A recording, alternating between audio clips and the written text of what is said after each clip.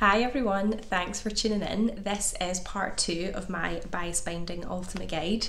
And if in case you missed it, part one was all about the different types of bias binding that you can get, the ready-made ones, and then also about actually making it yourself as well if you wanted to do that. And then the second video is going to be about how to actually apply it onto your garments, so at the necklines and at the armholes as well. So I'm going to show you different ways that you can do it and in the description bit of this video I've put the timings of when I actually show you the different ways. So if there's just a specific way that you want to do it then you can skip to whatever time you want in the video. Um, but I'm going to talk you through them all now anyway. So the first thing you need to decide really when you're thinking about putting your binding onto your garments. It's whether you want to see it or not. So it can be visible on the outside of your garment when the garment's totally finished, or it can be folded into the inside. So exposed or concealed is the first sort of decision that you need to make.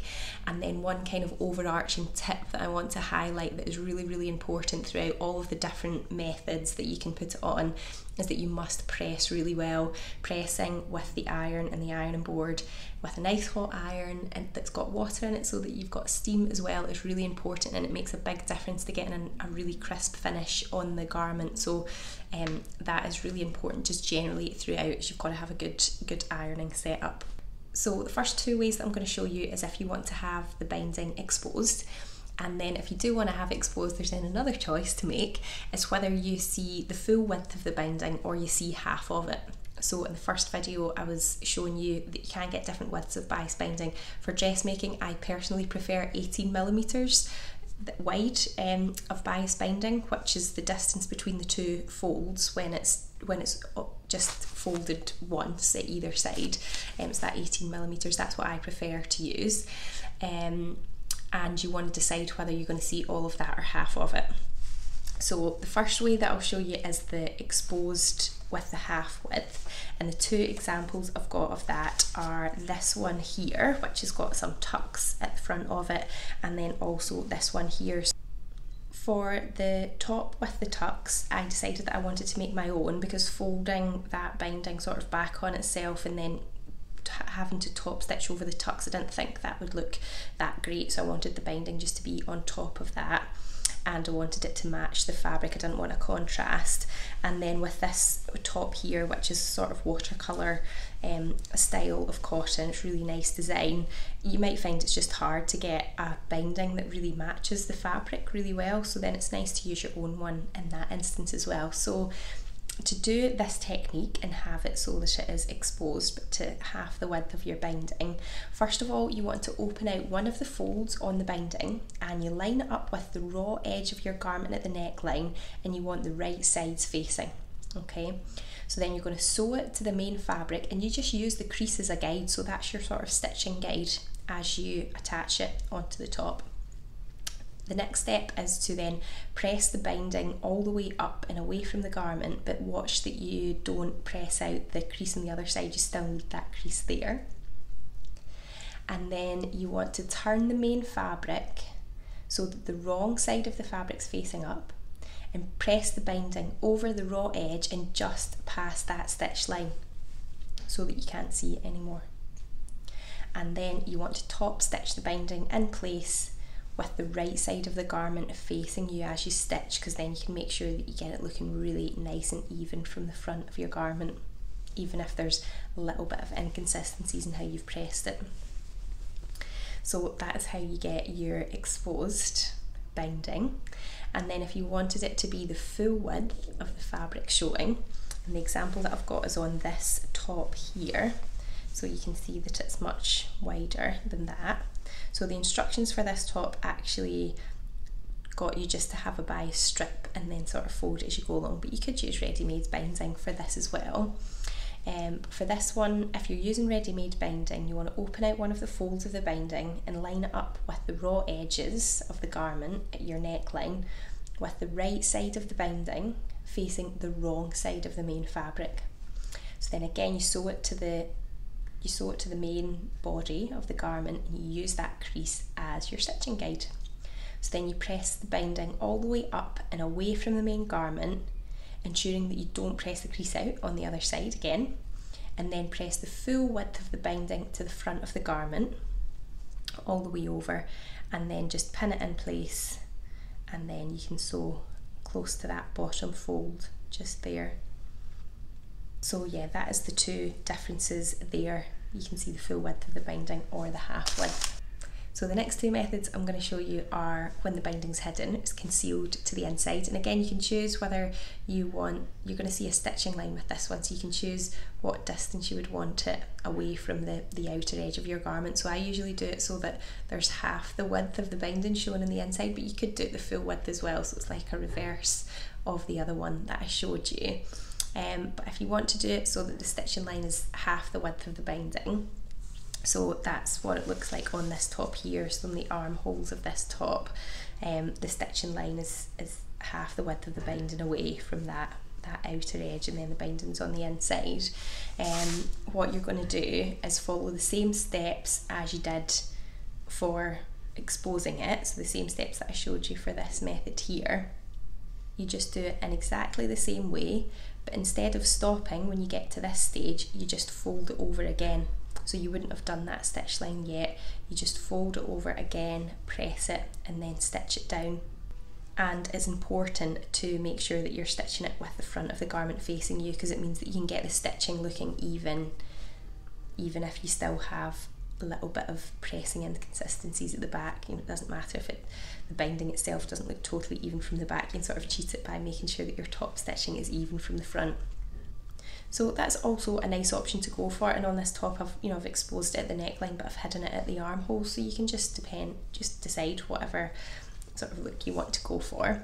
If you want to have the full width here, then you would just do the same as you did for showing it to the front, but instead when you first put it onto the fabric, you'd put the right side of the binding facing the right side of the main fabric and then you'd fold it all to the inside um, over the full width of it rather than folding it in half and then in half again.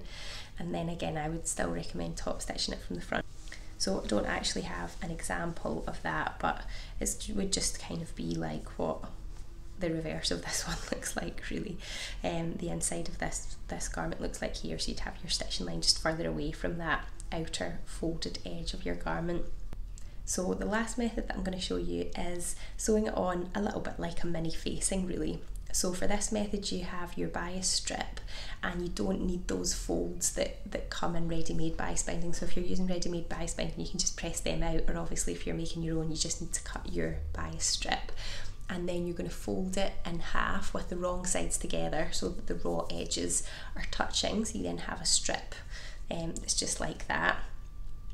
And then you are going to line the raw edges of the binding so both of those raw edges stay together now and they are going to line up with the raw edges of the neckline of your garment on the the right side or the outside of your garment. So you sew that strip onto the garment at whatever seam allowance you've is, is maybe recommended in the pattern or that you've built in when you've cut out your bias strip so you sew that on there and then Sometimes patterns will tell you to understitch it, which is what I've done on this um, blue and white stripy one here. So once you've attached the binding itself onto the garment, you then press the binding up and away from the neckline and then you understitch through the binding and the seam allowance is really close to the edge. That just helps the binding to stay on the inside of the garment and then you press all of the binding up and over. It should hide the raw edges on the inside. So if they're sticking over a little bit, then you can just trim them back and then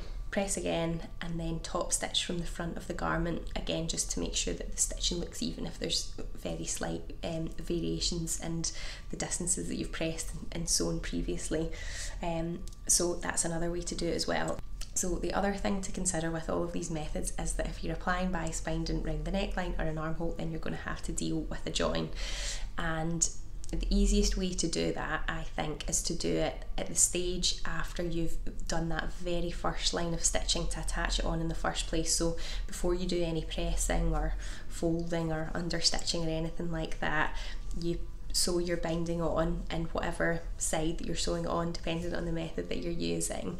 And then you just leave a gap. So you'd have a gap maybe about sort of two and a half three inches approximately where you've just not sewn it together and just make sure that you've got long tails um, that you can trim down to size. So once it's secured and actually sewn on, then you can just lay the edges of that binding flat, sort of work out where they're going to be butting up against each other.